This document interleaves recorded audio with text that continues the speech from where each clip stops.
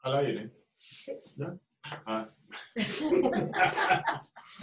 Son las 2 con 36 minutos de la tarde. Seguimos en directo por arroba Radio. Estamos también en el Zoom, en nuestra cuenta de Zoom. Eh, Estamos saliendo en directo y luego eso va a estar eh, colgado en nuestro canal de YouTube, en Facebook, etcétera, etcétera, por todas las redes sociales, también por Citadina, eh, bueno, por todos lados. Y como ustedes ven aquí a mi lado, Claudia Nieto, quien hoy vino de rojo. De Mm, vino rojo. de vino. de- sí. de rojo vino. O sea, eres como una especie de. En extinción. Tinto de verano. No. una leyenda, como dicen cuando. Especie en extinción, ahí te lo dejo. Exacto, una especie Tinto de extinción. verano también puedo ser. Tinto de verano. Muy rico. Así Así que, que bueno. oye, que te digan estás más rico que un tinto de verano. Oye, vale. Oh, Oye, oye, vale. chacha. Ah, chacha, Bueno. ¿Cómo se va roja que la camisa? Dios mío. Como estamos en horario supervisado Es así, y estamos en Carauta Radio, entonces vamos a, vamos a entrar a lo que vamos. a lo ¿Cómo que se vino. Sí. A lo que se vino. A Yo, lo yo, que se estoy, vino. yo estoy bien arrancando la semana Ok.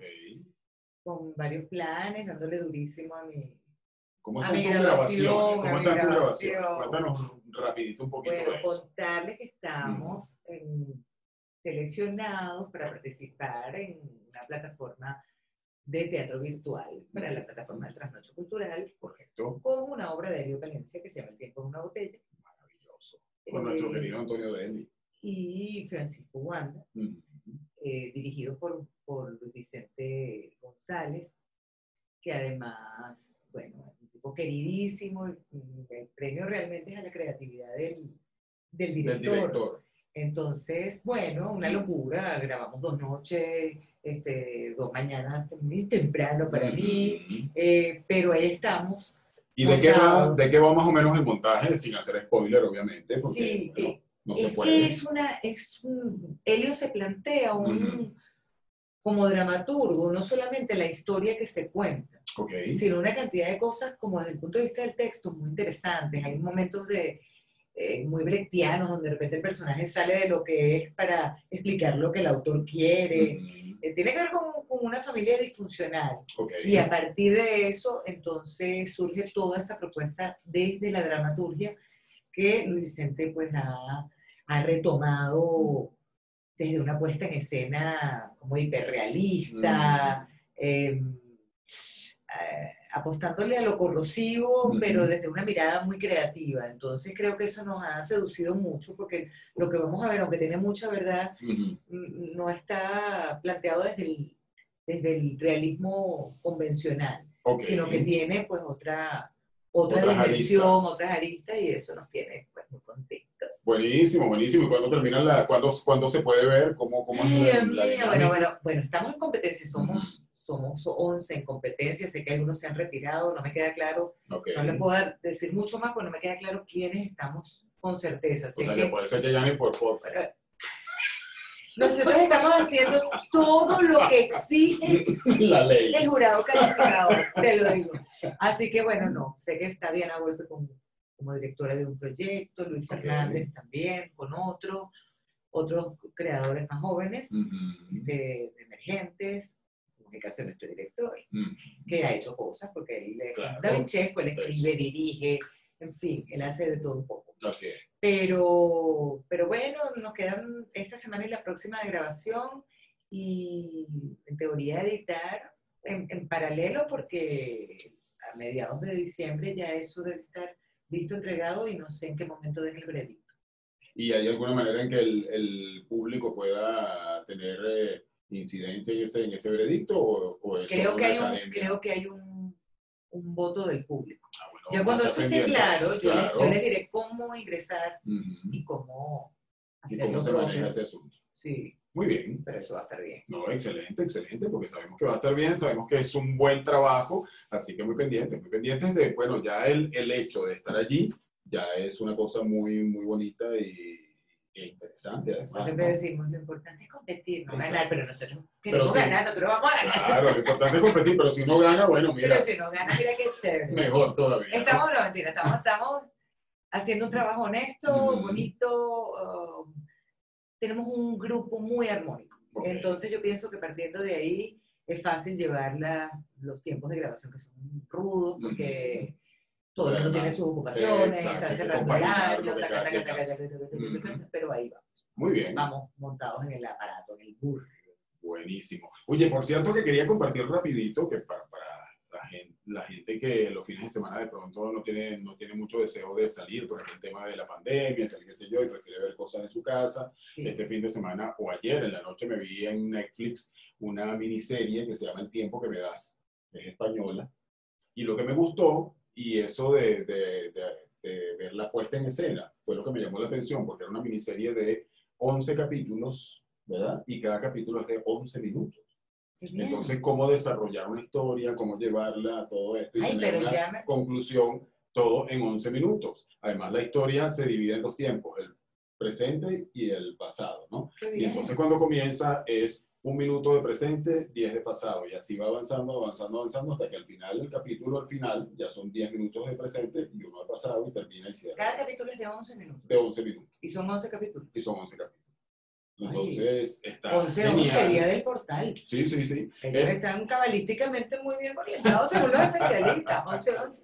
Es una historia de amor, pero la manera en que está puesta en escena, la manera en que está llevado, cómo resuelven la trama, o sea, me, me parece que está bien, bien interesante y para aquella gente que le gusta de pronto ver algo, pero que no sea tan largo, pues cre- creo que...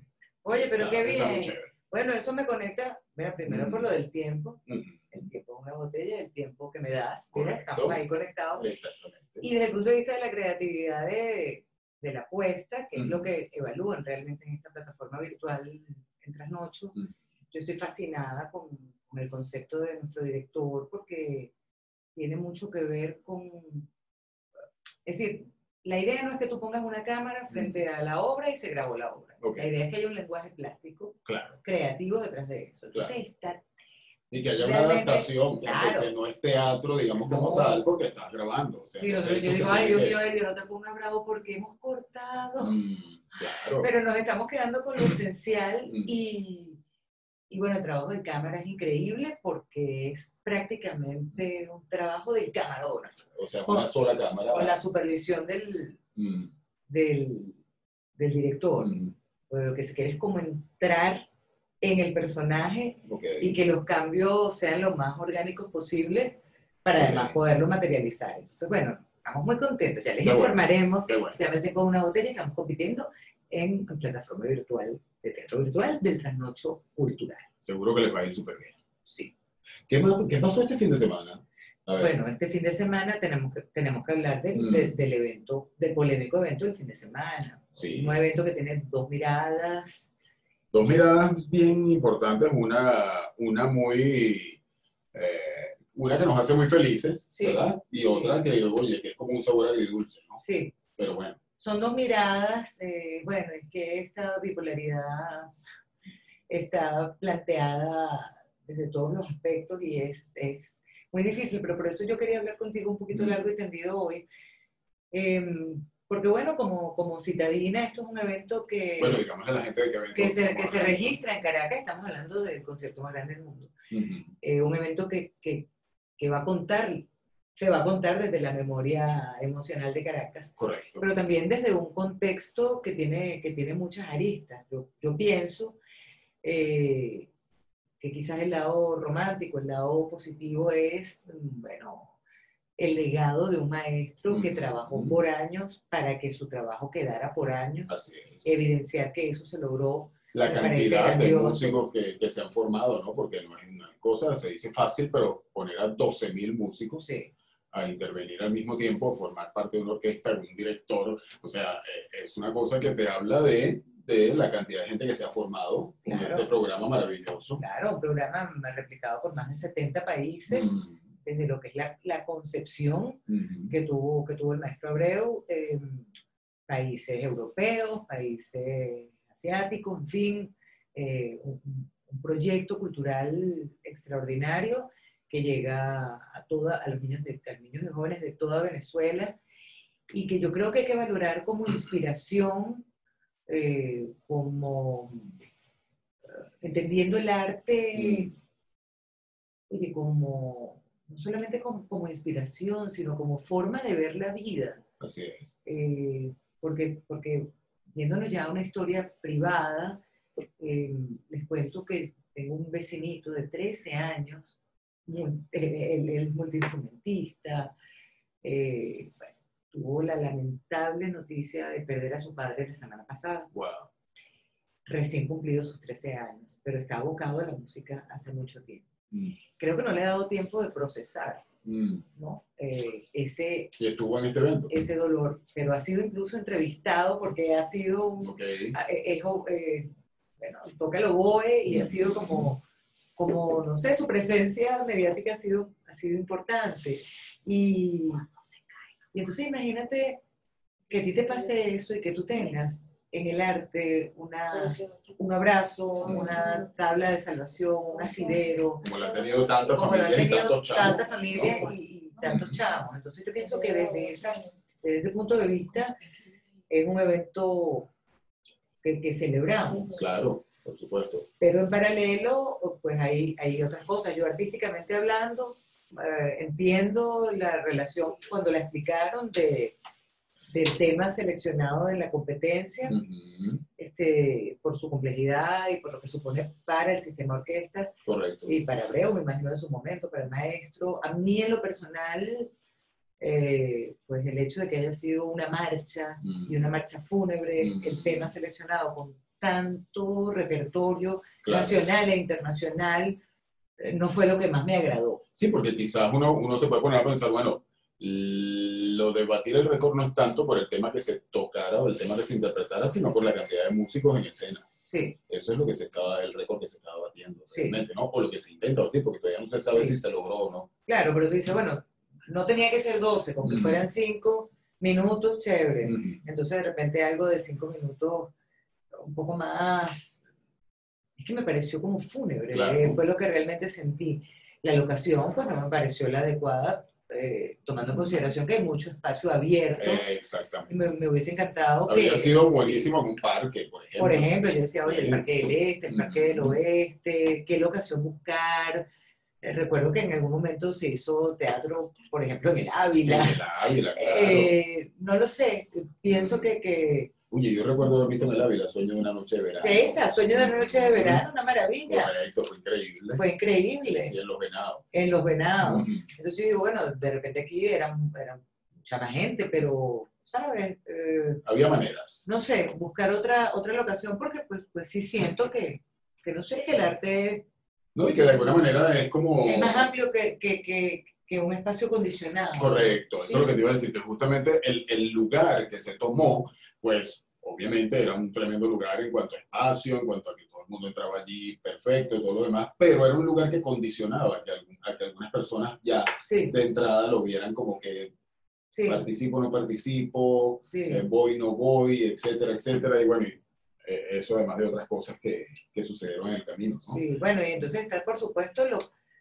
lo, que, lo, que, lo que deja el Mm. evento, digamos, desde el punto de vista de la precaución, a mí me pareció peligroso convocar a esa cantidad de personas en este momento Correcto. histórico. Así O es. sea, lo considero, no, o sea, me parece inapropiado, no voy a decir si irresponsable, no. Me parece inapropiado para un momento donde, donde de repente en Francia no te permiten ni siquiera tomarte un café si no Mm. estás vacunado. Y los niños, sabemos que los niños son los que ahora empiezan recién a ser vacunados.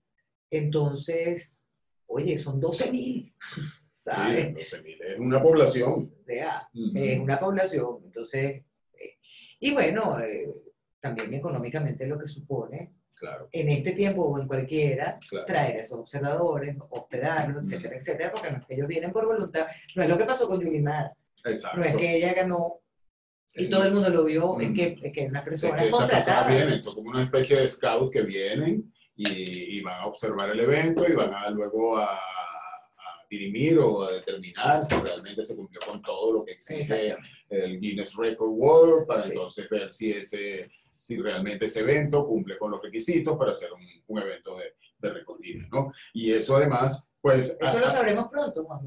no tengo idea, la verdad. ¿Cuánto Yo tiempo se tomará? Lo ¿Cuánto podemos averiguar, está? pero yo me imagino que pronto se debe saber. Sí, sí, si eso cumplió o no cumplió. Se imagina uno que debe cumplir porque sobrepasaba la cantidad de músicos establecidos que tenía el récord. ¿no? Sí. Ahora, no sé si hay otras cosas a la par que toman en cuenta en el momento, si se cumplieron o no se cumplieron, esa parte no la sabemos. La verdad no la sé. Ya lo, ya lo veremos luego cuando, cuando se sepa la noticia en el momento. ¿no? Sin embargo, verlo y, y lo que te digo, a mí la pieza no, no me gustó, pero Mm. muchas de las que tocaron y ver a esos directores jóvenes con esa Claro. energía Y esos chamos y esos chamos emocionados. emocionados Sí, y sí, tener sí. ese, ese incentivo y tener el arte como motor y tener la cultura como pilar de un país, pues siento que, que es importante. Entonces tengo como ese sabor agridulce, lo mencionaste tú, yo también estoy así como, tú sabes, Sí, sí, sí, sí, porque uno dice, bueno, vamos a, a quitar eh, esto y vamos a quitar esto y vamos a quitar esto y vamos a dejar lo que fue el evento en realidad, que son, estos chamos se merecen lo que pasó el fin de semana, porque, bueno, porque le han echado pierna, porque es gente que trabaja durísimo, porque el sistema de orquesta es, es una gran creación que nos pertenece a todos los venezolanos, que es de todos nosotros, eh, porque muchos chamos de- literalmente han salvado sus vidas gracias al sistema de orquesta. Eh, entonces uno dice, bueno, hay que quitar todo lo, toda la musaraña que está alrededor, vamos a quitar, vamos a dejar esto que realmente es lo importante, pero se sigue teniendo el- ese sabor agridulce de, eh, por ejemplo, los videos que empezaron a salir Ah, al final sí. de la noche de ayer, sí, sí. fue muy, muy Muy triste. fuerte, Sí. muy triste, entonces uno no, es lo que te digo, Mm, hay que estar en el, en el, en el epicentro para, para vivir pues toda la, la experiencia con, con, lo, con lo bueno y con, y con lo malo, pero lamentablemente que, que triste pues que, Sí. que esa sea la noticia eh, después de, de, lo, de lo emocionante que pudo ser en su, en su momento, sobre todo para estos chamos mm, porque eran los que entrevistaban, los que hablaban, eh, pues más allá de, lo- de los videos que, que vemos en este momento, en ese momento no era esa la energía que nosotros sentíamos. Yo. Entonces uno se queda como un Además que poco, Además que no fue nada más el, el día del evento, sino que fue previamente ensayos sí, donde esos chamos estuvieron allí, no sé, creo que dos días antes, estuvieron ensayando, 12 mil personas allí todo un día entero ensayando, no sé qué, para luego hacer el evento. Y la verdad es que lo que uno esperaría es que el trato debía haber sido como de estrellas. sí, sí. Eh, bueno, un, un evento agridulce, pero que sin duda va a quedar registrado, escrito en la historia y en la memoria de Caracas, y por supuesto hoy teníamos que, que mencionarlo y Sí. hablar de eso, porque forma parte de como- la crónica de la ciudad. como lo que está en, en el tapete. Así es. ¿Qué otra cosa? Si sucedió algo más este fin de semana. Que, de Es que creo que, creo que eso es- fue realmente como el, Mm. el- yo no, bueno, yo fui a la Ávila ayer. Ah, bueno. Casi un a la evento que Claudia vaya a la vela. 1700. Pero subiste como caminando. Claro, Ah, no, eso es un evento, 1700 señores. metros. Subí 1700, subí más arriba de la Mil. pero ¿Por no llegué. subiste? Subí por eh, San Bernardino arriba, ¿cómo se llama esta? Por- Pajarito. Por Pajarito. Sí, Pajarito, cotiza. Cotiza por cotiza, exacto. Entonces, eh, claro, yo tenía la esperanza de llegar como a un sitio. Que no fuese así, Donde ¿verdad? pudiera- donde pudiera y- Pero no, no, eso no fue posible. Claro, siempre hay un terrenillo por ahí donde uno se colea, ve un poquito Caracas, pero me fui sin teléfono, no quise registrar nada. Me fui para mí. pues. Claro, buenísimo. Eh, pero bueno, la cruz no pude llegar, porque era 3.600 metros. Y dije, no, no, hoy no estoy entrenada, pero lo haré. Muy bien. No, pero una, es un buen comienzo, creo que está bien. Eh, claro. yo decía, oye, no sé si ir, quería ir como a la, es que me queda tan cerca, dije, Mm. quería ir como a la Cota Mil. Y dije, no, vale, voy a ir al Ávila. Mm. Entonces abracé un árbol, me senté en las piedras, me quité los zapatos, Mm. saludé a la gente. Ahora lo llaman árbol, ¿no? Ahora lo llaman árbol. Gigante. Bueno, muy bien, muy bien. Eso, todo, todo eso es importante y hace falta. Hace falta abrazarse a un árbol, abrazarse a un árbol de verdad en estos tiempos. No le hagan caso a él, hagan caso a mí. Ustedes van a un parque o algo, quítense los zapatos y abracen un árbol. Un árbol. Un árbol. un árbol porque uno siente como que se reconecta. Increíble. Con la vida, con la naturaleza. Es que estamos como en un mundo tan, tan, tan de mentira, Mm. que uno está como sobrecargado además de energía, demasiada, demasiado tecnología junta. Sí, sí, sí, es verdad. Uno vive pegado a un teléfono todo el día. Yo estoy harta. La vida no, no se da si uno no menos tiene ahora aquí nos están grabando. Ujú. Aquí también, aquí yo no sé para dónde voy, yo sé que ustedes son televisión. Yo me dediqué este fin de semana a comer. Qué rico. No pude hacer otra cosa. Tuve varias cosas que hacer, las hice, cumplí, etcétera, etcétera, pero me dediqué a comer. El sábado comí mexicano y comí riquísimo mexicano. Que bueno, tenemos que ir. Tenemos que a ese sitio para que comamos. Se come rico, sabroso, barato. Y bueno, no les voy a hacer promoción, pero se llama Pancho Villa.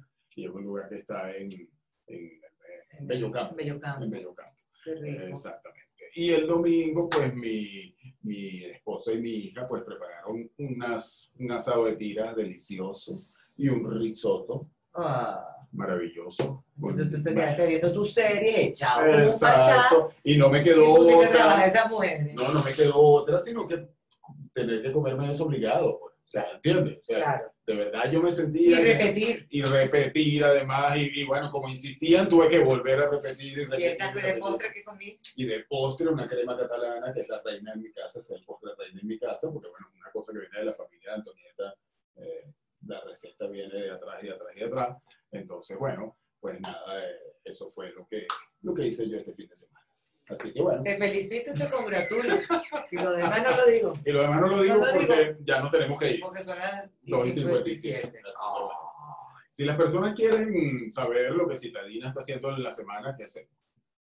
¿Qué hacemos? Bueno, pueden seguirme a través de arroba citadinascs, recordándoles siempre que eh, después de la C, citadina se escribe con Y. Pueden seguirme también en mi cuenta personal, arroba Claudia Lanieto. Por ahí siempre estoy montando cosas. Eh, y bueno, ya, nada, calentando los motores con mi contenido de navideño, del que estaremos hablando aquí largo y Claro. tendido, pero que también van a tener a disposición en las cápsulas citadinas que salen los lunes, miércoles y viernes a las 9 de la mañana, 4 de la tarde y 8 de la noche, por aquí, carajo. Así es. Y aprovechando que Claudia está aquí conmigo, quiero decirles también que vayan a visitar la cuenta de Instagram de arroba vamos de nuevo show, Así. que es la cuenta donde estamos publicando nosotros lo que tiene que ver con nuestro podcast, que está ya preparado para salir, ya casi casi en diciembre vamos con nuestra primera edición, para todas aquellas personas que viven preguntando qué es eso que ustedes están montando, esas capsulitas, esas cositas de 30 segundos, que no sé qué, bueno, eso es. Vamos a- de nuevo, así que síganos en Vamos de Nuevo Show. Tenemos muchos seguidores nuevos. Claro que poco sí. a poco. Muy bien, ahí vamos, ahí vamos. Ahí vamos. Y una vez que estrenemos el primer episodio, ya tú vas a ver cómo va a ser eso. Así que muy pendientes, muy pendientes. 2 con 58 minutos de la tarde, nosotros nos despedimos. Gracias, Claudia, ay. A ti. por estar como todos los lunes con nosotros. Aquí yo estoy horrible, como con una cosa que, No que me vale, está pero bueno, en Eh, fin. Citadina, citadina. Es así, es citadinos, corremos, brincamos, hacemos cosas, pero bueno, nosotros hablando de correr y brincar, tenemos que correr y brincar para otro lado, porque andamos dándole la lengua todo el día, es parte de nuestro trabajo. Así es. Entonces nosotros, pues nos vamos, Nos 2 con 59, nos despedimos, Mirla Castellano, Yailin Acevedo, Mariana Palma, Mariana. y quien les habla, Juan Manuel Guzmán y Claudia Nieto a mi lado. Esto fue aquí, seguimos en nuestra versión de hoy lunes, mañana martes, de vuelta con ustedes. Y ya saben, vean, vean la entrevista que le hicimos a este chico David Calcaño, David Calcaño, creador del video de la migración venezolana que está montado en la cuenta oficial de Frank Sinatra. Vean la entrevista que quedó súper. Nene. Sí, señor. Chao, chao. Chao, chao. Bueno. ¿Qué tal? Mi teléfono te estuvo echando broma. Te puso idiota.